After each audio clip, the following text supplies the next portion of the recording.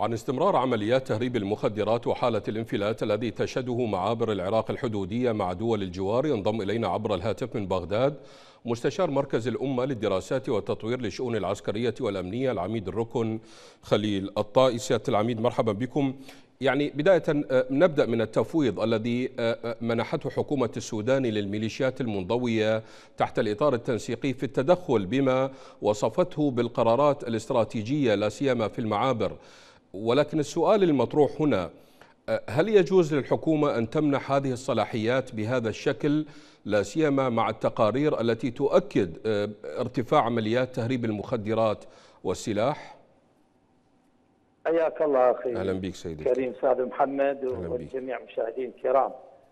أخي الكريم لو كانت الحكومة منتخبة من الشعب نعم لا يجوز ولكن حكومة السوداني هي الابن البار للاطار التنسيقي الشيعي الولائي والتفويض الذي منحته حكومته للميليشيات هي جزء من التزامات هذه الحكومة تجاه الميليشيات التي جاءت به لرئاسة الوزراء نعم. هذه القرارات والصلاحيات المفتوحة والواسعة للميليشيات يراد منها جعل عمليات تهريب المخدرات والسلاح حالة مستمرة ومنظمة وبحماية السلطة والمؤسسات الحكومية وبهذا ستنتقل عمليات تهريب المخدرات والسلاح من حالة السلوك الفردي المخفي إلى النهج السلطوي الحكومي العلني سيادة العميد هذه الصلاحيات التي منحت للميليشيات إلى أي مدى تساهم باتساع عمليات تهريب المخدرات من وإلى العراق؟ هذه الصلاحيات الواسعة التي منحت الميليشيات والتغيرات السريعة في القيادات الأمنية والمخابراتية وحرس الحدود. يراد منها أن تتخذ عمليات تهريب المخدرات والصواريخ والمسيرات صفة التنظيم والاستمرارية وبحماية حكومية. ومن ثم الوصول إلى مرحلة التلاحق الجغرافي بين العراق وسوريا التي تحولت لدولة مخدرات بإشراف الحرس الثوري والميليشيات اللبنانية والعراقية. وبهذا يحقق النظام الإيراني حرية الحركة والتنقل في جغرافيات واسعة لهذه التجارة الصفراء الغير شرعية سيادة العميد مع تحول العراق إلى مركز وممر عبور يهدد دول الجوار وحتى يهدد المنطقة مع نشاط عمليات تهريب المخدرات أه، تعتقد أن الحكومات المتعاقبة متورطة في ذلك؟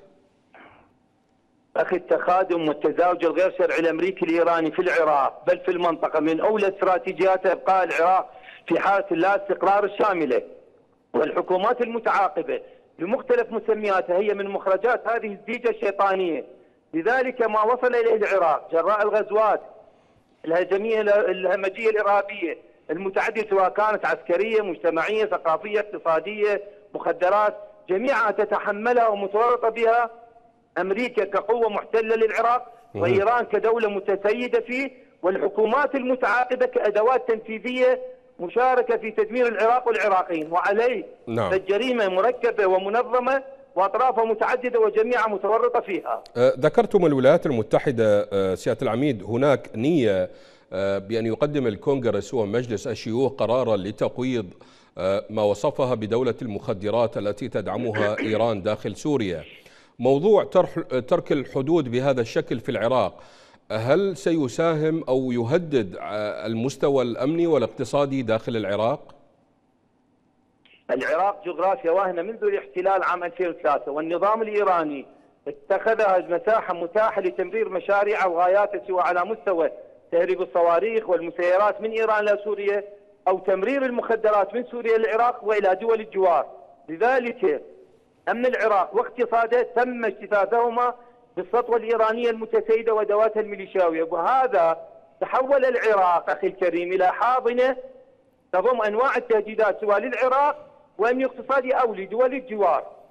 سيادة العميد آه، إذا ما المانع اليوم من النهوض بهيئة الجمارك في العراق آه، آه، تعتقد أن ربما لدى حكومة السوداني النية الفعلية لمكافحة الفساد وعمليات التهريب التي تجري عبر الحدود العراقية؟